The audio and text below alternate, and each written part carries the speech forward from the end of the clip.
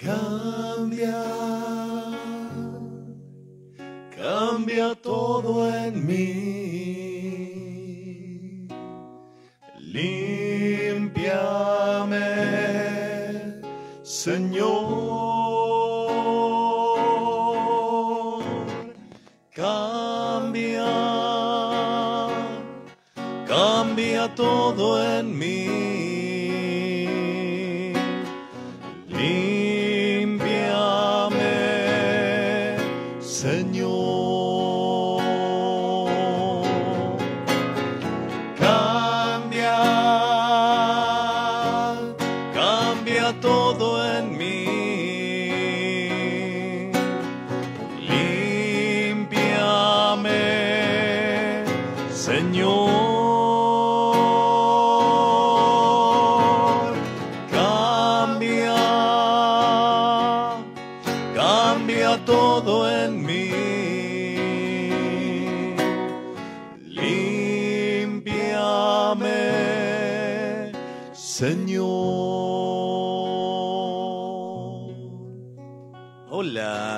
¿Cómo estás? El Señor te bendiga. El Señor te conceda la paz y qué hermoso poder encontrarnos en este tercer encuentro de sanación de este seminario Sanando la Depresión, de este seminario de ir descubriendo los pasos. Cuántas veces el corazón está destrozado y no tenemos con quién hablarlo, no tenemos con quién compartir, no tenemos a quién eh, compartirle la historia que nos duele y muchas veces eh, al, ser incomprendidos, hablábamos con Pablo hace rato, que muchas veces son nuestros propios fantasmas, porque aún nosotros creemos que nadie me va a comprender. Y nos cerramos y nos volvemos en esclavitudes profundas, o podríamos darle un título, en cárceles que nos ensimisman y nos encierran.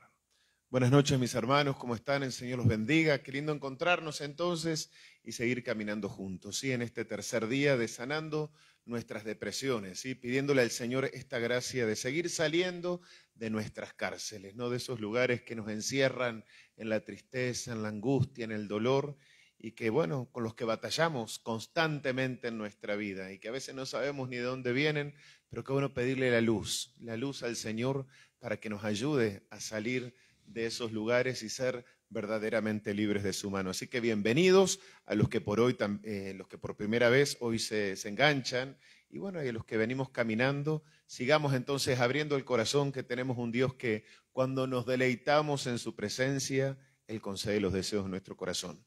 Y creo que cada vez que hacemos un seminario de sanación interior, el deseo de nuestro corazón es ir sanándonos cada día más. Y el primer interesado en sanarnos justamente es Jesús. Así que bienvenidos. Y vamos a ponernos en presencia del Señor, en el nombre del Padre y del Hijo y del Espíritu Santo. Amén. Amén. Y nosotros queremos, Señor, en este momento de nuestra vida, pedirte la gracia, pedirte la gracia de una experiencia nueva, de una experiencia profunda, de una experiencia real contigo.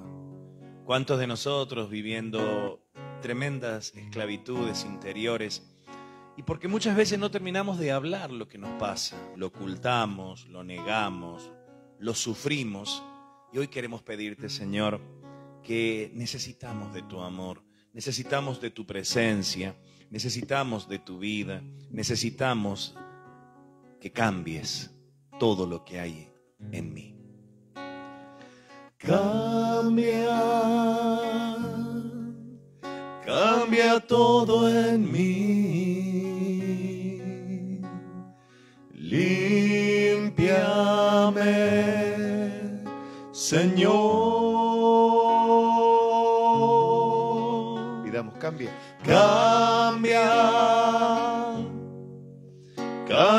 todo en mí. Límpiame, Señor. Yo necesito más de tu amor. Yo necesito más de tu amor. Toma este barro. Toma este barro y transfórmalo. Quiero estar alfarero. En tus manos quiero estar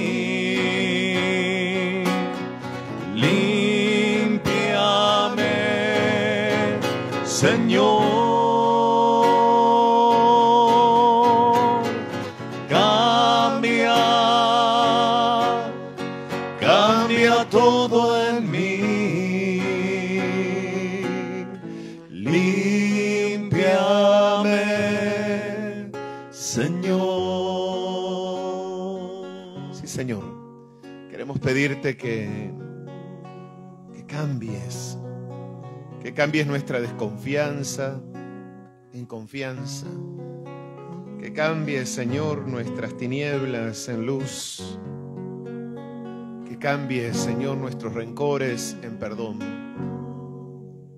que cambies, Señor, nuestras esclavitudes en libertad. Amado Señor, tú conoces nuestro corazón y por eso te pedimos una vez más que derrames tu Espíritu Santo en nuestras vidas, que nos llenes de esa luz que viene de tu Espíritu. Por eso Espíritu Santo, te decimos, fluye. Fluye en nuestra vida, cambiando todo nuestro lamento, como dice la palabra, en danza. Fluye en nuestra vida, dándonos la luz que necesitamos para orar por aquella situación que nos mantiene en tristeza, esclavos, por aquellas situaciones que nos mantienen tristes. Ven Espíritu Santo, en el nombre de Jesús. Ven Espíritu Santo y cámbialo todo, transfórmalo todo, renuévalo todo, sánalo todo. Este barro necesita tu poder, Espíritu Santo. Este barro necesita abrirse a las manos del alfarero. Por eso ven Espíritu Santo y danos un corazón abierto de carne para seguir dejándonos amar por el Señor. Ven Espíritu de Dios. Cambia, cambia todo en mí. Límpiame, Señor.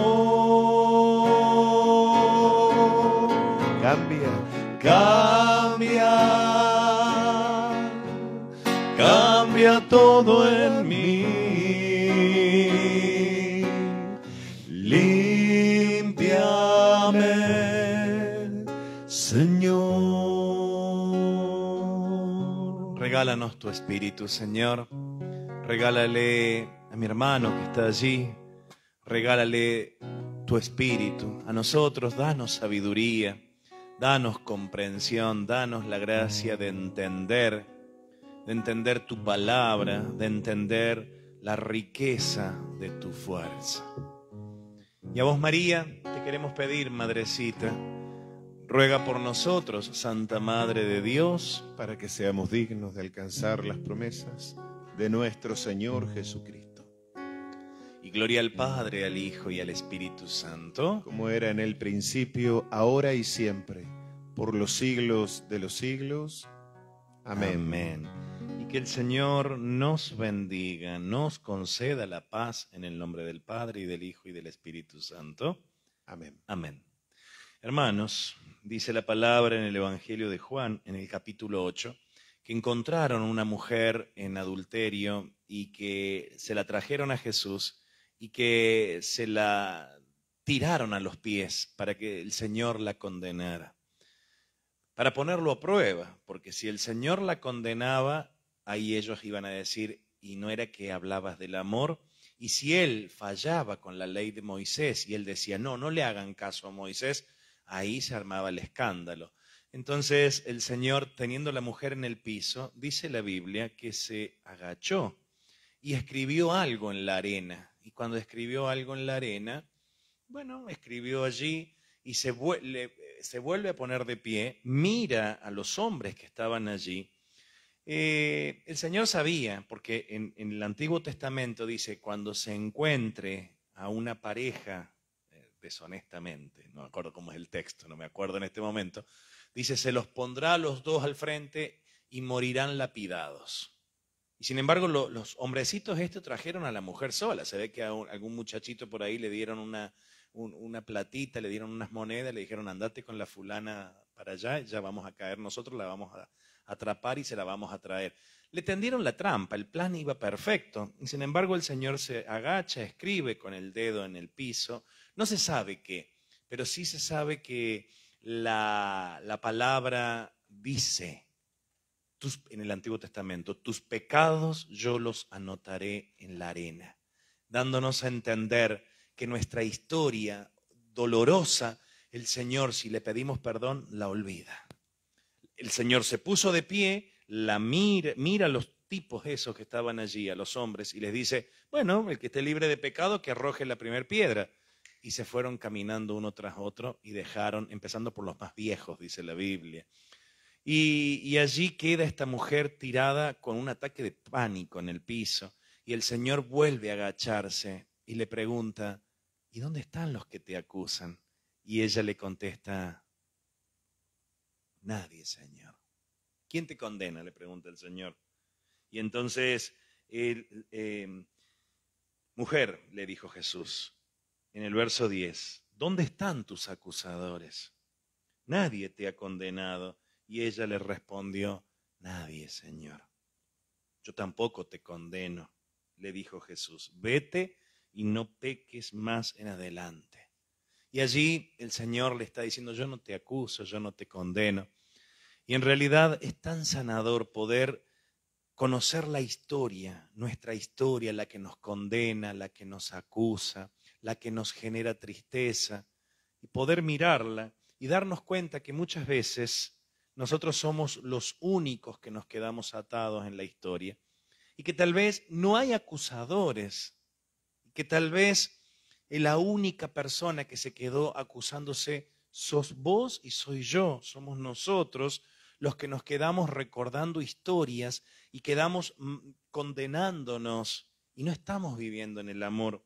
Por eso hablar de depresión es darnos cuenta que muchas veces nosotros creemos que nuestro sufrimiento es único y, y- y nos hemos acostumbrado y nos hemos creído esta historia, la historia de creer que yo soy el único que sufre, que yo soy el único que padeció, que yo soy el único. Entonces terminamos convencidos que a mí nadie me va a entender, porque si yo cuento lo que me pasó, van a decir que estoy loco, van a decir que estoy loca. Entonces, todos estos factores, todo este mundo interno, nos impiden abrirnos y cuando no nos abrimos, no pedimos ayuda y sufrimos silenciosamente. Eh, hoy en la mañana yo escuchaba a alguien que me contaba qué doloroso que es el tema del aborto, con algo que dijimos en el, en el encuentro anterior, y, qué doloroso, y yo lo viví, y cuando me iba diciendo eso, yo le hablé de la misericordia, y le contesté algo como diciendo, pero ya es hora de soltar, porque si no, ¿de qué nos sirve ir a la iglesia si no estamos creyendo en el verdadero amor de Dios? Porque muchas veces sabemos más de castigos que de misericordia. Y sin embargo, qué sanador que es poder hablar. Y esta, esta, esta persona necesitaba hablarlo. Y cuando me lo contó, yo no me quedé, ay, mira vos. No, yo le hablé de la misericordia y la enfrenté con la misericordia, sabiendo esto, que el Señor se bajó y la miró a la mujer y le dijo, ¿dónde están los que te acusan? Y ella le contestó, nadie, Señor. Qué belleza. Qué belleza poder entender que la única historia que a, vos y a mí y a nosotros nos condena es la que hemos ocultado y es la que necesita salir de nosotros y ponerla a los pies del Señor de mano de un hermano, de un amigo, de un cura, de alguien que me asesore. Qué bueno ponerse en el lugar de, del otro un instante, ¿no? Cuando leemos un pasaje como estos, decís, nadie, nadie llega al adulterio porque sí, ¿no? Nadie llega al adulterio porque sí. Es fácil acusar, ¿verdad? Eh, al otro. Es fácil eh, como es señalar. Pero cuando uno llega a situaciones límites, seguramente que interiormente hay una batalla tan grande, ¿sí? hay situaciones tan duras, tan dolorosas, uno no justifica, es decir, no justifico el adulterio, no justificamos la prostitución, no justificamos, claro que no, nada, no justificamos eh, los abusos, no, pero alguien que está bien, sí, emocionalmente, que está bien espiritualmente, nunca llegará hasta, hasta esos límites, ¿sí? Y por eso qué bueno, qué bueno es Dios, ¿no?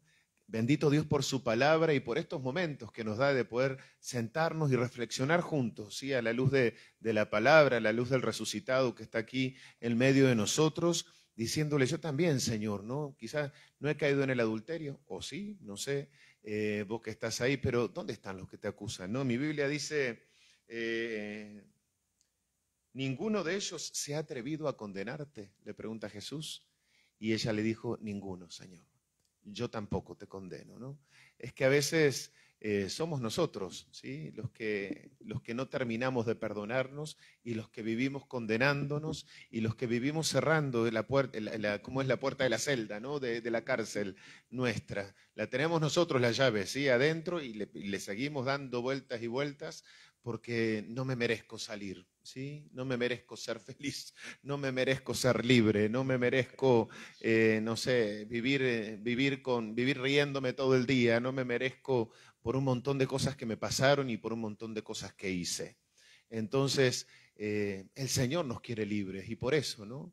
¿Qué llevó a esta mujer a caer en eso? No sé, fue sorprendida, dice el texto, en el mismo acto del adulterio, ¿sí? Una humillación total, ¿no? Y, mereciendo la muerte, tuvo vida. Y así pasa cuando vos y yo también nos encontramos con el Señor. En medio de toda esa muerte que guardamos, en medio de toda esa tristeza y ese dolor que escondemos, consciente o inconsciente, ¡pum! Nos encontramos con el Señor y, y también nos dicen, Pablo, ¿sí? ¿Dónde están? ¿Dónde están? Es que date cuenta que, seguís siendo vos quizás el que te, que te acusas. Vete en paz. Me, me, encanta cuando Jesús nos dice esto, ¿no? A cada uno de nosotros.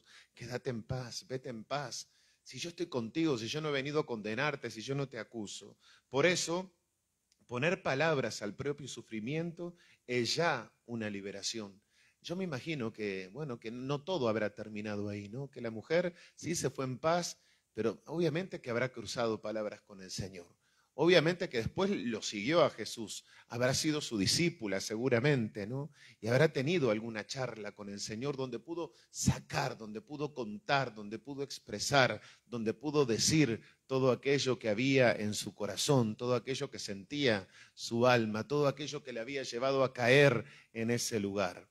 Y de esto se trata también cada seminario, ¿no? Ponerlos a los pies del Señor para poder sacar todo eso que hay dentro de nosotros y ponerlo a sus pies. Decirle, Señor, ¿sabes qué? Necesito contarte esto. Necesito sincerarme en esto. Es que a veces nuestra oración, hoy hablaba con alguien y, lo hablaba también, lo hablábamos en estos días, en nuestra, nuestra oración a veces no es sincera porque seguimos desconfiando de lo que Dios quiere hacer en nuestras vidas. Seguimos desconfiando de esa libertad total que el Señor quiere darnos.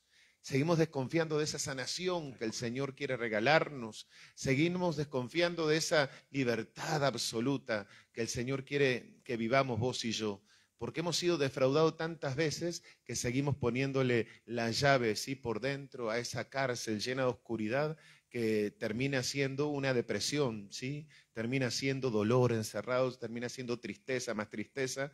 Entonces no termino de creerle a Dios todo lo bueno que quiere hacer en mi vida, ¿no? Y de esto se trata los seminarios, de poner a sus pies y decir y hablar, poner palabras, poner palabras en el sufrimiento, en aquello que me pasó, en aquello que viví.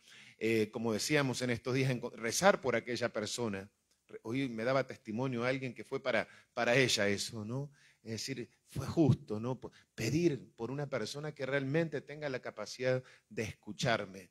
Pero más allá de esa persona que, que podemos encontrar y que es bueno encontrar, el que tiene la capacidad de escucharte, de no condenarte, de no tener asco de tu vida, de no decir, ¡Ah! mira, es Jesús. Y por eso hacemos estos seminarios, ¿sí? Para ponerle palabra a nuestro dolor y para salir de estas cárceles así como salió esta mujer. En, el encuentro con Jesús hay un antes y un después.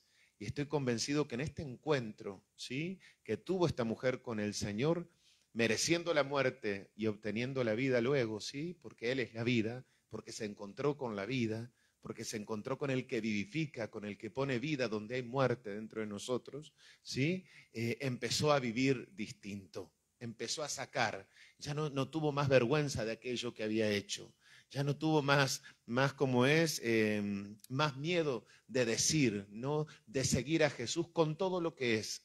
Y así, con todo lo que somos, con todo lo que traemos, con todo lo que vivimos, ¿sí? Qué bueno es también nosotros sacar nuestros miedos. La acogida del sufrimiento con respeto y compasión es un, es un reconocimiento de la persona y de su valor. Y si hay alguien que puede acoger nuestro sufrimiento con compasión, es el compasivo, el que tiene el corazón compasivo, y ese es el Señor, ¿sí? Por eso, como esta mujer, hoy pongámonos a los pies del Señor, sintámonos, ¿sí? Porque a veces todo eso que tenemos dentro nos humilla, nos tiene en el piso, nos tiene tirados. Y a veces hemos terminado así en esta tristeza interior por los pecados propios y por los pecados de otros, ¿sí? Que nos llenaron de tristeza, de miedo, de dolor y nos terminaron encerrando en esta cárcel. Hermanos, eh, la palabra dice, a ver, tengo la palabra y tengo algo que escribió Lidia Alejandra Tejerina. Me voy a quedar con eso. Dice la, la palabra, ella le respondió, nadie, Señor. Pero ¿cómo habrá sido la certeza de esta mujer en, en medio del ataque de pánico? Una vez una amiga que debe estar mirando acá me hizo un comentario que me causó una gracia por la forma, porque a mí me encanta imaginarme la palabra, y me dijo mi amiga, gracias a Dios ninguno era sordo, porque si no le hubiese tirado una pedrada a la mujer. pero de verdad, pero de verdad, eh, qué hermoso esto, enfrentar la historia. El Señor Jesús la miró, se bajó, la miró a la misma altura. Yo no me puedo mover por el micrófono, pero Jesús se agachó y la miró y le dijo, le dijo esto, ¿dónde están tus acusadores? Nadie te condena. Vos sabés que dice acá Lidia Alejandra, dicen que las heridas son como agua estancada, tal cual. Es el, dolor guardado, metido adentro, y es un agua que no corre, es un dolor. Eh, eh, una mujer que tal situación, aquella persona, o sea, con situaciones así, es dolorosísimo. Pero nosotros tenemos que entender, yo me quedo con una palabra de, este, de este, esto que estamos trabajando, el duelo es un fenómeno natural. Y, el duelo lo tenemos que vivir todos. Y hacemos duelo el día que, por ejemplo, yo me acuerdo siempre, me acuerdo una Navidad, estábamos comiendo eh, con mi... Yo las Navidades tengo recuerdos de o, o con mi mamá o con mi papá, nunca juntos la Navidad del año, no me acuerdo cuál, nos juntamos todos a comer y fue un milagro. Aunque mis padres no se saludaron después del momento, no importa, pero nosotros felices. Y cuando estábamos comiendo, yo sentí que se me clavó un pedazo de hueso del, asado.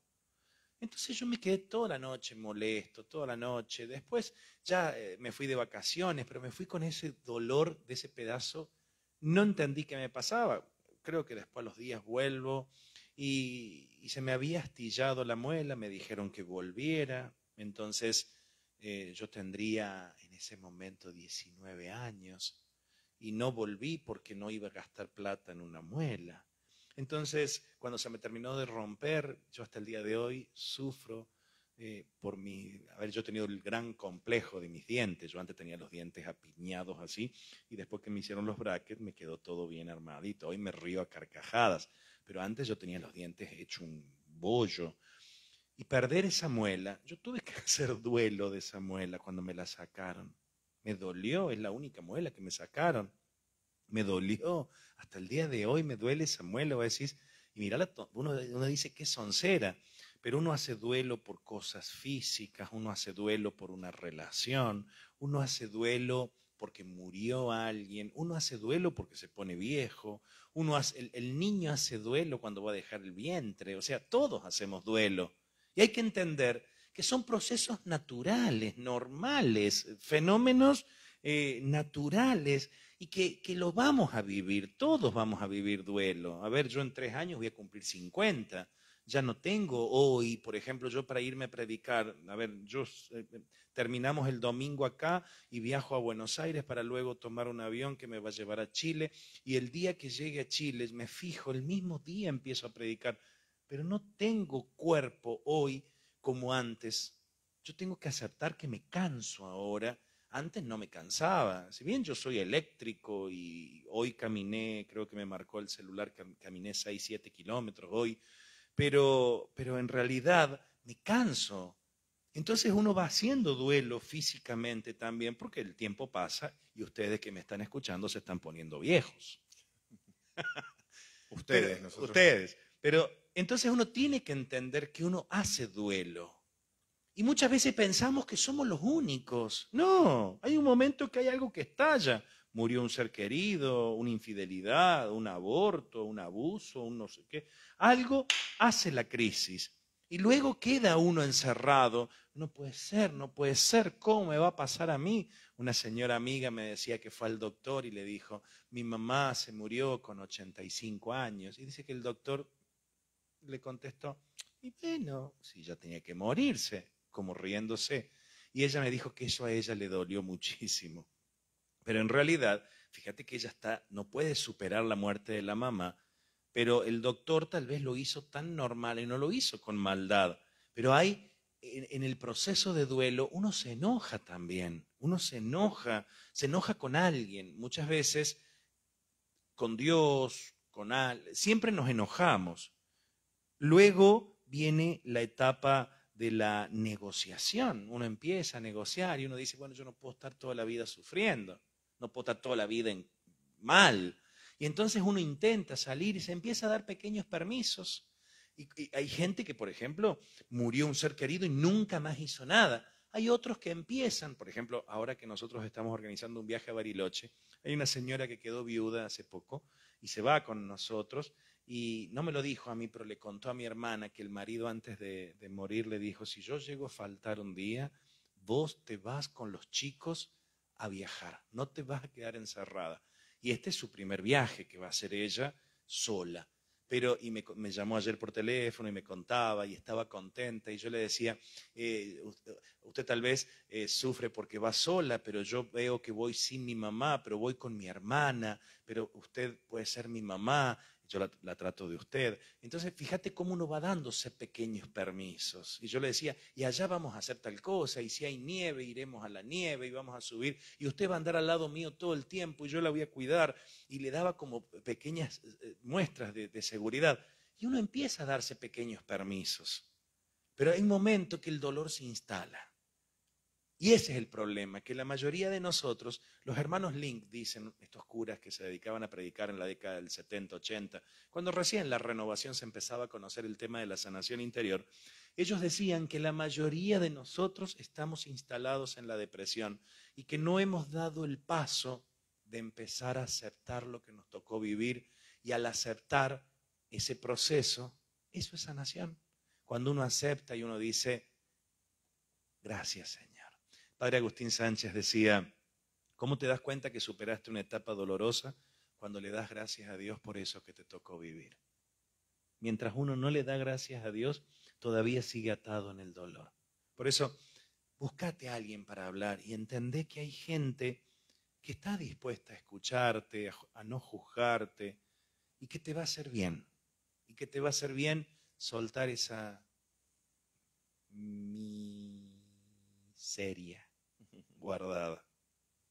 Acá qué bueno los comentarios, ¿no? Porque bueno, acerca de los duelos. Buenísimo los comentarios. Sí, porque es verdad, cuántas situaciones de duelo. También decían en tiempo de pandemia qué difícil han sido también los que han perdido gente, bueno, que amamos y sin poder acompañarlos, ¿no? Sin poder estar cerca. E, es verdad. También duelo, decía una mujer, decía aquí que le había dicho un sacerdote que mudarse a veces también es todo un duelo, ¿no? Salir de esa casa donde quizás te costó tanto, donde te criaste, donde viviste tantas cosas lindas y malas, tantas vivencias, donde criaste tus hijos, o donde, bueno, viviste y de repente tenés que irte. Claro que sí, en la vida vamos haciendo un montón de duelos. Y si todo eso no lo ponemos a los pies del Señor, van quedando, ¿no? Y por eso volvemos otra vez a las cárceles y por eso es tan necesario, ¿sí? Hablar, tan necesario hablar con alguien. Pero muchas veces, Gabriel, eh, hay mucha gente que no encuentra a nadie, Y te dicen, pero no encuentro a nadie con quien hablar, ¿sí? No encuentro a nadie con quien hablar. Yo no sé si a veces es que no encontramos a nadie o en el fondo no queremos, ¿verdad? No queremos soltar o nos da miedo, nos da miedo soltar porque nos da miedo que nos vuelvan a fallar, nos da miedo que se vuelvan a ir de nuestra vida, nos da miedo que vuelvan a, ¿cómo es? Eh, no sé, a mentirnos, nos da miedo a que vuelvan a jugar con nuestros sentimientos, nos da un montón de miedo. Yo creo que no es que no haya nadie, siempre hay alguien, ¿no? Por eso es bueno pedir, como decíamos ayer, pedirle a Dios, Señor, eh, dame la gracia de escucharte y, descubrir a esa persona que me pueda escuchar también, ¿no? Que me pueda acompañar. Este tiempo también mucha gente me ha pedido, eh, me imagino que vos también, Gabriel, obviamente nos ha pedido que los acompañemos. Yo le he dicho a varios que, que no, pero por un tema de que decirle, no quiero decepción, no, no quiero que tengas otra decepción, sí, por los tiempos, por un montón de cosas, porque es serio acompañar a alguien, ¿verdad? es una cosa seria, eh, bueno, que, alguien desnude su vida delante de vos, ¿no? Yo siempre alabaré a Dios y daré gracias por Gabriela, ¿no? Que realmente cuando, bueno, cuando tomé la decisión, ¿no? En, aquel retiro de, desnudar mi vida delante de, ella, ¿no? Y contarle absolutamente todo, ¿sí? Porque siempre digo, hay dos personas que, que conocen todo, ¿no? Como quien dice de, de mí, es Dios y Gabriela, ¿no? Porque si quería que alguien me acompañara de verdad, que me aconsejara de verdad, que me ayudara, ayudara de verdad, uno tenía, tiene que decir. ¿no? Pero a veces tenemos tanto miedo de decir lo que hemos vivido, tanto miedo de, salir de la cárcel, ¿no? De la, cárcel de nuestros secretos, de la cárcel de nuestros, de nuestros dolores, de la cárcel de todo aquello que hemos vivido y nos da vergüenza. De la, entonces, eh, eso quiere el diablo, ¿no? Eso quiere el enemigo, mantenernos dentro de esa oscuridad, mantenernos dentro de esa cárcel. Por eso recién le decía, cuando uno pone palabras, cuando uno empieza a hablar, ya es signo ¿no? de sanación. Y a veces no es que no encontramos a nadie, sino que seguimos desconfiando de todo el mundo, ¿sí? Porque el corazón sigue como lastimado por tantas decepciones a lo largo de nuestras vidas. ¿sí? Y te entiendo, ¿eh? te entiendo porque cuántas decepciones hemos tenido que nos llevan a cómo es a escondernos. Y también cuando nos toca a nosotros escuchar a alguien o te toca a vos, ¿no? Y sabes que hay alguien que necesita, ¿no? Necesita de vos, necesita de mí. A veces demasiada gente tiene miedo de escuchar a una persona depresiva porque temen crear una relación de dependencia, ¿sí? de dependencia y no tienen tiempo, lo que volvemos a decir, ¿no? Crear una, una, relación de dependencia, porque sabes que cuando uno está con alguien, yo me acuerdo cuando Juan, el padre Juan allá en Uruguay, me pidió trabajar con los jóvenes, ¿no? Y me dijo, mira Pablo, yo necesito que trabajes con los chicos. Y trabajar con los jóvenes allá significaba estar toda la noche despiertos, ¿no? Porque se trabajaba en la noche, estaban las puertas abiertas de la parroquia eh, de noche, desde más o menos de las 8, 9 de la noche, después de la misa de la, tarde, después de las 7, hasta el otro día 7, 8 de la mañana, ¿no? porque los chicos andaban por ahí en la calle, entonces antes que estén ahí se les abría las puertas de la parroquia e iban. Pero me dijo algo, me dice, pero te necesito a tiempo completo con ellos, que estés. ¿No? Y es verdad, y es verdad. Hay alguien también, bueno, Juan a mí me escuchó muchísimo, ¿no? También eh, una de las personas que, bueno, que me contuvo en el momento, uno de los momentos más difíciles de mi vida, y, aprendí que, bueno, que había que comprometerse. Y es cierto, tenés que estar para el otro. Y muchas veces eh, el otro crea, cuando vos lo escuchás, cuando te preocupás, a veces uno ha caído también en eso, ¿no? En esa relación de dependencia enferma, ¿sí? enferma, como la primera vez siento que alguien me escucha, entonces te viven llamando, te viven eh, golpeando la puerta, te viven mandando audio, te viven mandando mensajes, ahora no, eh, te viven haciendo llamadas, que esto, que aquello, y uno tiene un montón de cosas y a veces tenemos miedo a crear ese tipo de relaciones, ¿no? De dependencia. Y la dependencia, ¿cómo, cómo saber cuando creamos una, una relación de dependencia? pero enfermiza, ¿sí? Pero enfermiza. Las personas dependientes presentan primero un, gran, eh, eh, no tienen autocontrol, ¿sí? Se descontrolan todo el tiempo, ¿sí? Viven descontrolados. Eh, cuando no les prestas atención, cuando no les atendes el llamado, cuando no, viven todo el tiempo enojados, ¿sí? Entonces, eso ya es signo de que, no es bueno, ¿sí? De que no es bueno, que está encerrado en una cárcel. Y a veces, como decimos, es necesario, sí, acompañar, pero tener el valor de decirle a la otra persona, ya sabes qué, necesitas ayuda profesional. Y no tenemos que tener miedo a esto. vivimos como a veces como encapsulados mentalmente que al psiquiatra o al psicólogo van los locos y nos convencieron de eso. Y no es verdad.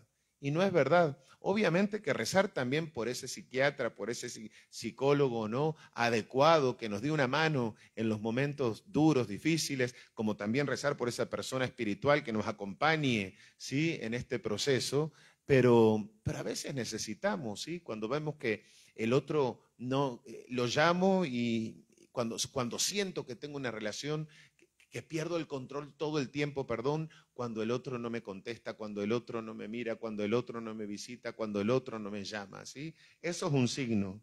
Después, otro signo es el malestar cuando se alejan de las personas.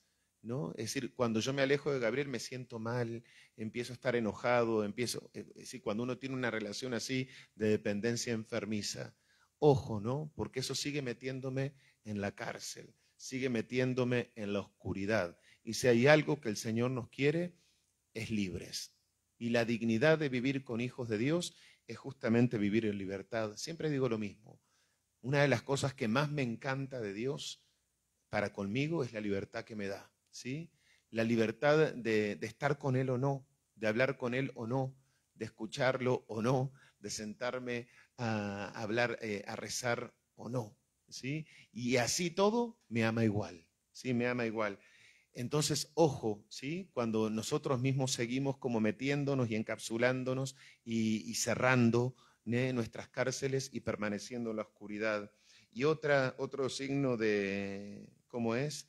de dependencia enfermiza también es la necesidad insaciable de estar con la otra persona, como que son incapaces de cortar vínculos, ¿sí? Cuando decir, es decir, esa necesidad constante cuando ahogo al otro. Y por eso a veces no quiero escuchar al otro, o por eso a veces eh, tengo miedo de que el otro me escuche, de las dos formas, ¿sí? Porque tengo miedo de crear una relación de dependencia y terminar frustrándome otra vez, o tengo miedo de escuchar a alguien y decepcionarlo, o de escuchar a alguien y que el otro quiera una, una relación de dependencia conmigo. ¿Me explico lo que digo? ¿Sí? Pero qué bueno, ¿sí? Como esta mujer encontró a los pies de Jesús la solución. Y cuando hacemos este tipo de seminarios es justamente para esto. Porque enseguida el texto, sí, en el otro versículo, como leíamos eh, el primer día, Jesús, después ¿sí? que termina de hablar con la mujer, dice, Jesús volvió a hablar con la gente diciendo, yo soy la luz del mundo. El que me sigue no caminará en oscuridad. Y a veces las relaciones de dependencia, ¿sí? enfermiza, es una, son relaciones oscuras que nos siguen quitando la libertad, que nos siguen como encerrándonos ¿sí? en nosotros mismos y dependiendo ¿sí? de otra persona en vez de depender ¿sí? del Señor. ¿Qué cuesta? Cuesta, claro que cuesta. Todo en la vida espiritual cuesta, pero tenemos que aprender a dar pasos. No tener miedo, ¿sí? De sacar, de ponerle nombre a nuestro sufrimiento, de hablar con otra persona y también darnos cuenta y pedirle la luz al Señor cuando empiezo a tener este tipo de relaciones de dependencia, porque toda relación de dependencia termina luego, ¿sabes qué? frustrando, frustrando otra vez nuestra vida y llevándonos a la tristeza interior. Hermanos, dice la palabra que Jesús se quedó solo con la mujer. E incorporándose le preguntó, mujer, ¿dónde están tus acusadores? La pregunta sería, ¿Quién te acusa por tu historia? Gabriel, ¿quién te acusa a vos? Y, uno muchas veces tiene que contestar, nadie, Señor, si soy yo nomás el que me invento las historias. ¿Y cuántos, cuántos de nosotros tenemos que hacer un clic? Yo recuerdo y me pasó este verano que alguien quería charlar y bueno, vino, se sentó a charlar y era una semana que yo iba a estar solo toda la semana y, y vino porque necesitaba es- es- que la escuchara, entonces la, escuché, la, eh, que se desahogara, era como una presión tremenda, ¿no? Y la volví a invitar que yo me iba a ir unos días al mar, pero cuando volviera volvíamos de nuevo y así Luego amistades la fueron llevando a la iglesia, al grupo, y la empecé a ver que se fue metiendo. En el seminario pasado, en el seminario pasado, eh, ella venía y se sentaba siempre detrás de, de- de- de cámara, y era la que mandaba el vivo y cortaba la transmisión. Nosotros no teníamos que ni movernos. Y anoche yo le mandé un mensaje, porque claro, ella fue aprendiendo durante todo este tiempo que hay que volverse al Señor. Y ya empezó a ir a misa. Hoy, por ejemplo, al grupo. Y ya empezó a leer la Biblia. Y ya empezó a trabajar en la parroquia. Y ya hoy vi unas fotos que cargaron que habían estado rastrillando porque acá estamos en otoño y se cayó todas las hojas y hoy fue un día de viento terrible, o sea que fueron a trabajar y yo veía las fotos que estuvo trabajando. Y, entonces yo anoche cuando terminó el seminario le mandé un WhatsApp diciéndole, claro, como ahora ella está sana, no necesita venir al seminario. Y entonces me contestó, es que vos no me invitaste, me puso.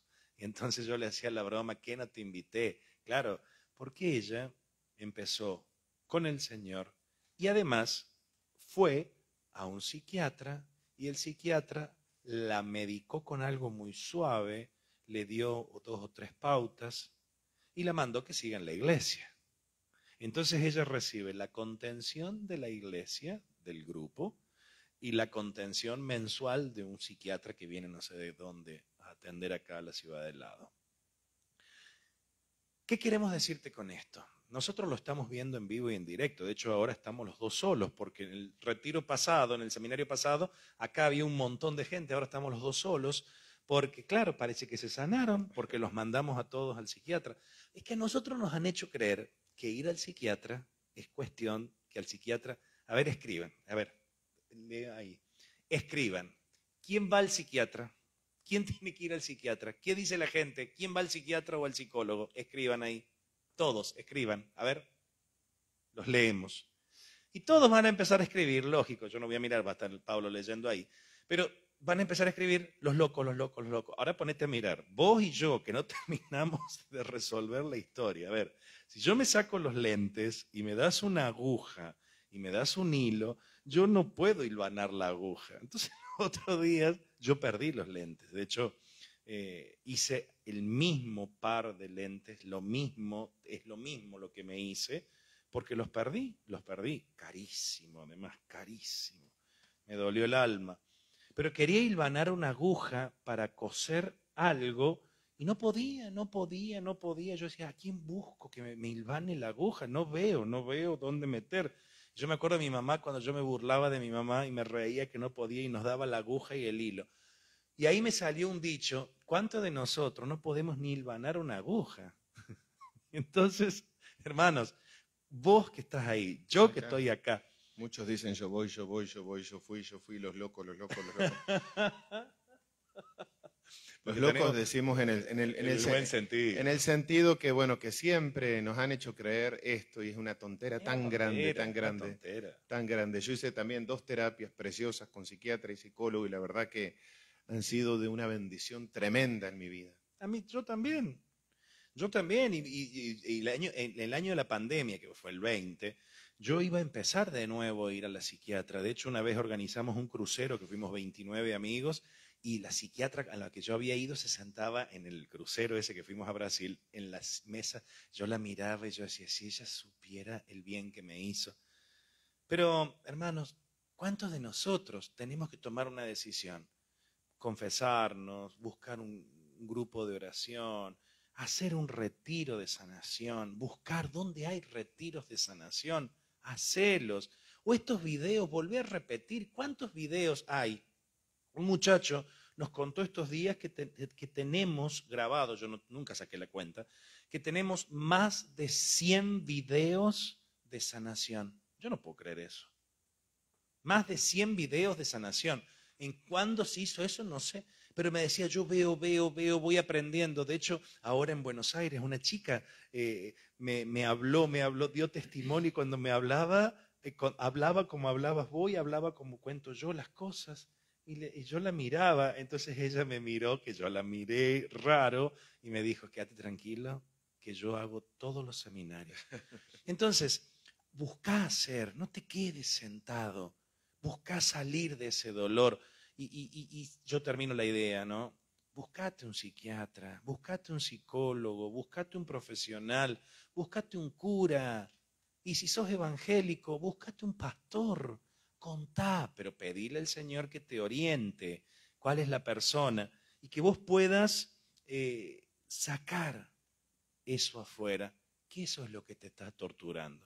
Y si la depresión fuera enfermedad, acá está, el psiquiatra con alguna medicación que te haga segregar determinada glándula, ya está. Dos por dos, cuatro. Te toca. Dos por dos, cuatro. Para, el para nosotros, para Dios, dos por dos puede ser 20, ¿no? Pero es así, ¿no? Es así. A veces tenemos muchísimos miedos de dar este tipo de pasos y seguimos encerrados en nuestra tristeza.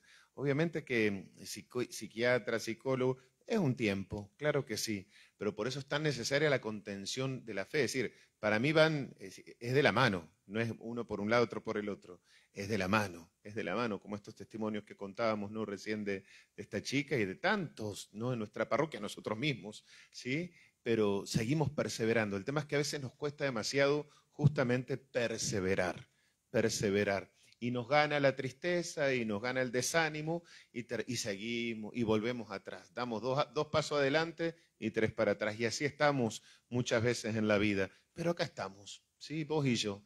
Acá estamos en la presencia del Señor.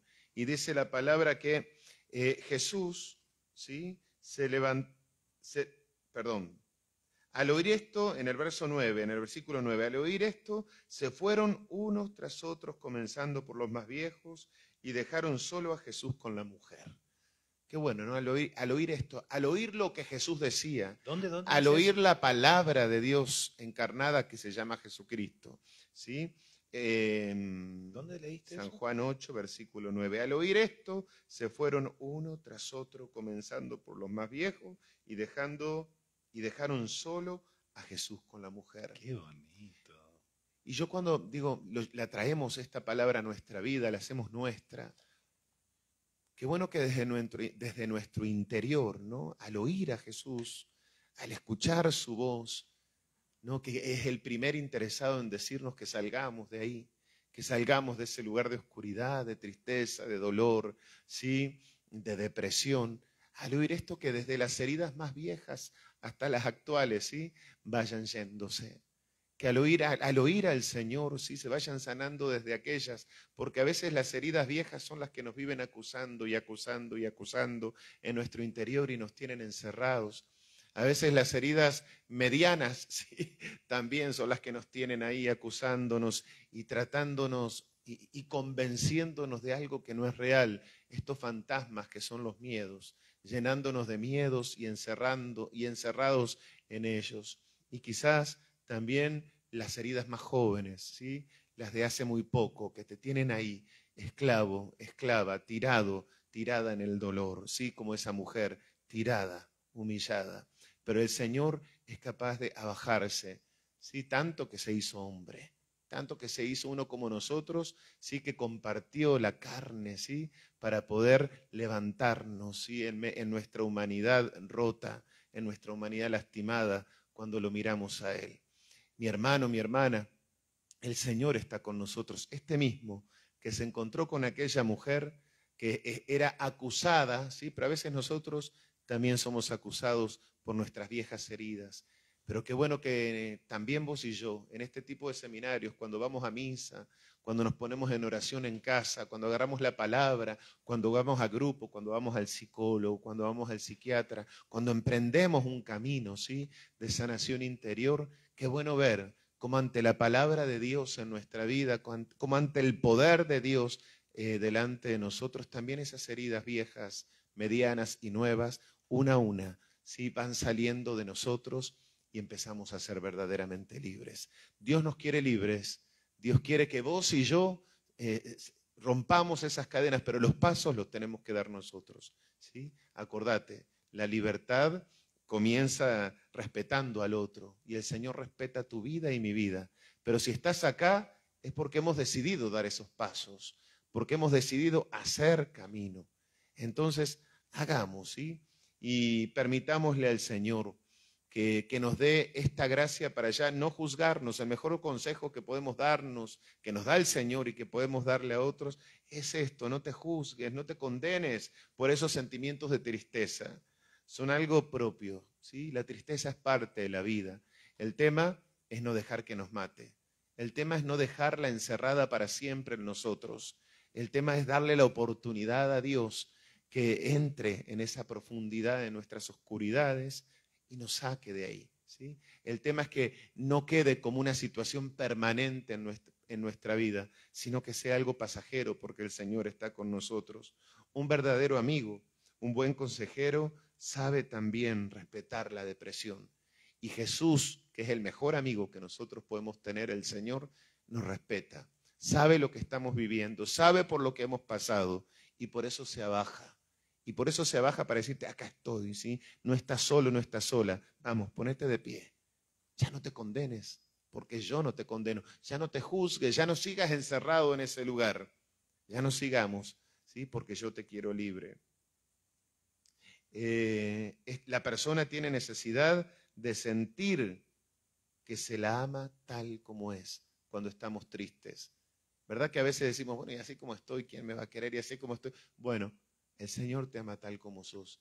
Y sabes que en la iglesia también queremos amarte tal como sos. Decís, pero Pablo, si supieras lo que he vivido en la iglesia, es que en la iglesia estamos los, estos, sí, justamente estos, los que tenemos el corazón roto, los que tenemos tristezas, depresiones, heridas, lastimados, pero que queremos hacer un camino de transformación espiritual en nuestra historia y darle la oportunidad a Dios que nos saque de ahí. Restablecerse lleva tiempo, ¿sí? No es magia, como siempre decimos, no es magia.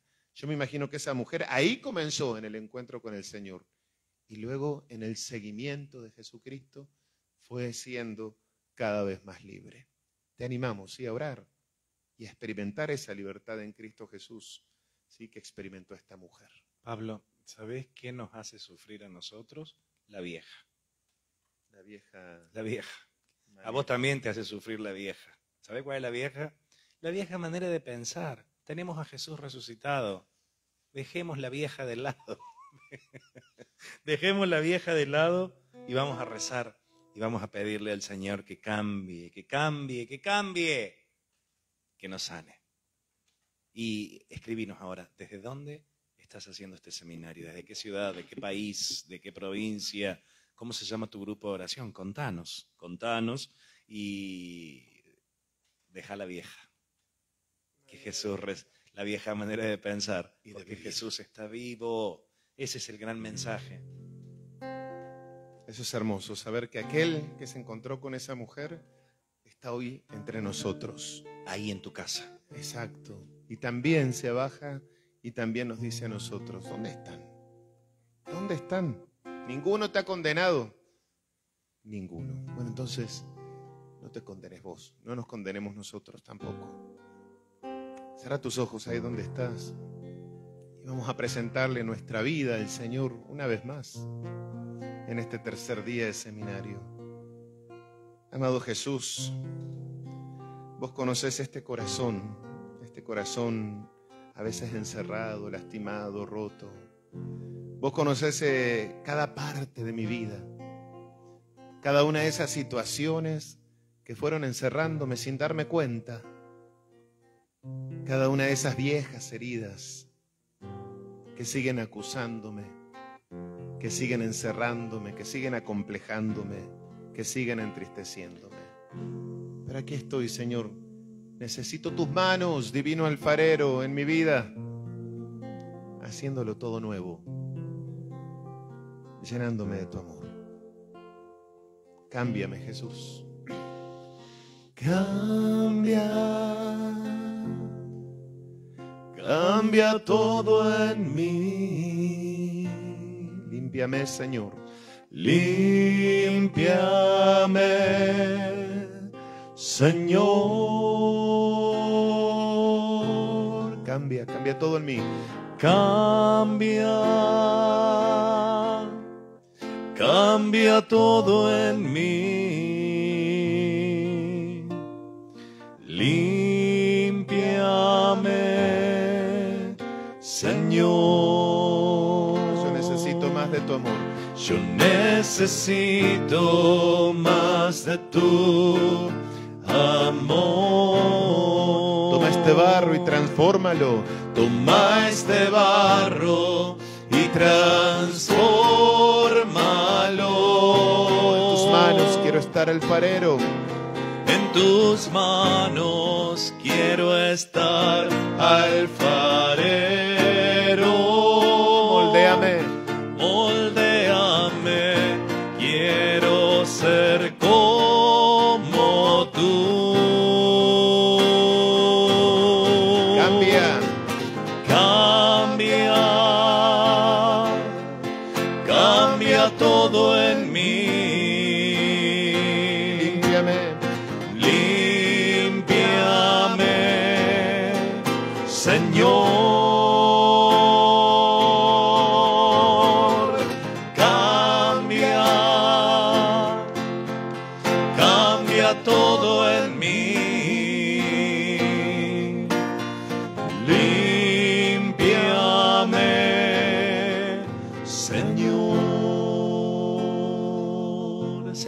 Jesús,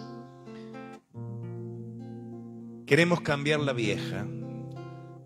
Y la vieja nos ha atontado, la vieja forma de pensar, porque creemos que no hay una salida y tú eres la salida, Jesús. Tú eres la respuesta. Qué belleza, tu palabra dice que quedaste solo con la mujer. En este momento tú estás solo con el que está mirando este seminario. Vos, Jesús, estás solo con el que está ahí mirando el seminario. Estás solo conmigo, estás solo con Pablo. Señor, es que nuestra forma de pensar está tan estructurada que como que no creemos que nos querés sanar y nos hemos olvidado que resucitaste y que dejaste el sepulcro vacío. Amado Jesús, cambia mi manera de pensar, cambia mi manera de vivir, cambia mi manera de actuar, cambia mi manera de relacionarme, cámbiame, decíselo, decile, cambia mi vieja manera de pensar, Señor, y dame la gracia de ser libre frente al amor. Cambia todo en mí. Vamos.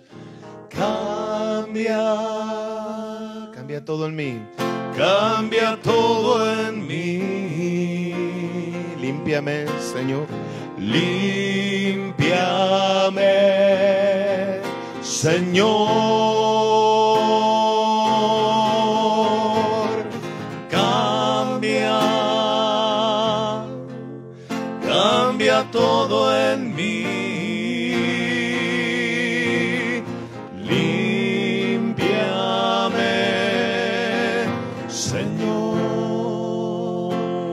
Invitamos a que abras tus manos ahí en tu casa. Y ahí pongamos aquello que necesitamos que Él cambie. Vamos, como un signo, como un gesto. Acá está, Señor. Acá está esto que necesito que transformes en mi vida. Aquí está esta, esta vieja herida. Esta vieja herida que me acusa. Este viejo recuerdo, esta vieja situación, este viejo dolor. Palabra dice que desde los más viejos hasta los más jóvenes fueron alejándose cuando escucharon tu voz. Y así nosotros te presentamos en este gesto cada una de esas viejas heridas y también de las nuevas heridas, de cada una de nuestra parte, cada una de nuestra vida. Señor, tú sabes lo que tienes que hacer, tú lo sabes todo. Nosotros simplemente nos ponemos en tus manos, pidiéndote, divino alfarero, que transformes este barro, que sanes este barro, que poses tus manos en este barro y que nos hagas de nuevo. Yo necesito más de tu amor. Vamos a decirle, Yo necesito más de tu amor. toma este barro y transfórmalo. Toma este barro y transfórmalo. Quiero estar alfarero. En tus manos quiero estar, alfarero. Moldéame, Moldéame, quiero ser como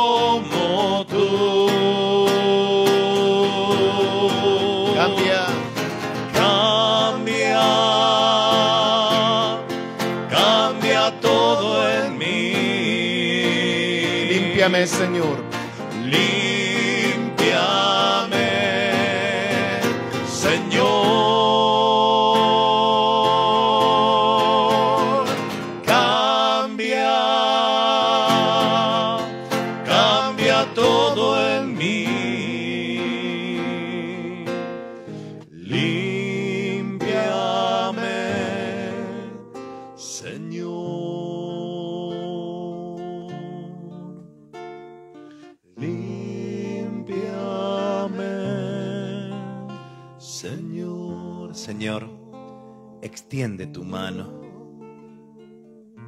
Y toca el corazón de estos hermanos míos y llénalos de una profunda paz. Y dale a ellos, pero también danos a nosotros la gracia de cambiar la manera de pensar. Sí, Señor. Extiende tu mano. Y así como aquella mujer quedó sola contigo y tú la confrontaste, haz que nosotros también sintamos en algún momento de estos días el quedarnos solos, confrontados. Si tú resucitaste, ¿por qué vivimos como si no hubieses resucitado? Actúa, Señor, actúa. Llévanos a un lugar solos y háblanos y haznos entender que la vieja nos domina. Sánanos, Señor. Sánanos, Señor. Cambia todo en mí. Cambia, cambia todo en mí. Límpiame,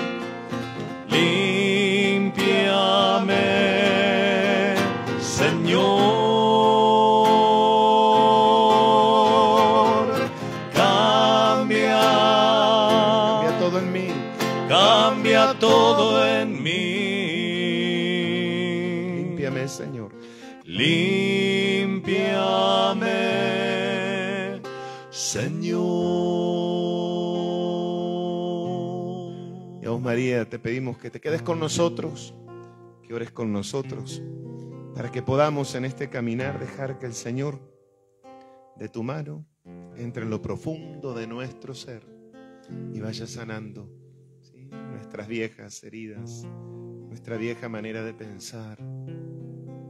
Quédate con nosotros, Madre, mujer libre, mujer de sí. Nos consagramos a tu corazón. Bendita sea tu pureza y eternamente lo seas, pues todo un Dios se recrea en tan graciosa belleza. A ti, celestial princesa, Virgen Sagrada María, yo te ofrezco en este día alma, vida y corazón.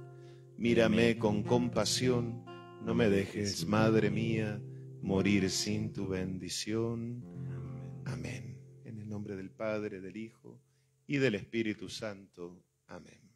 Hermanos, es necesario cambiar la vieja. cambiar la vieja manera de pensar. Es que Jesús ha resucitado. Nosotros nos vamos, simplemente te pedimos que nos cuentes desde dónde estás haciendo este seminario y que lo compartas con aquellos que vos sabés que necesitan sanar y hacer un proceso de sanación de su depresión. Un abrazo gigante gracias por compartir. Sabemos que hay un montón de gente que lo comparte.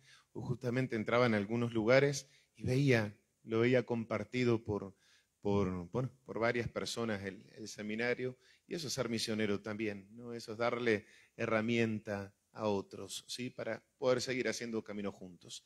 Mañana los esperamos, ¿sí? Y bueno, para seguir dejando que el Señor haga su perfecta obra de amor en cada una de nuestras vidas. Que el Señor los bendiga y hasta mañana si Dios quiere. Chao. Chao.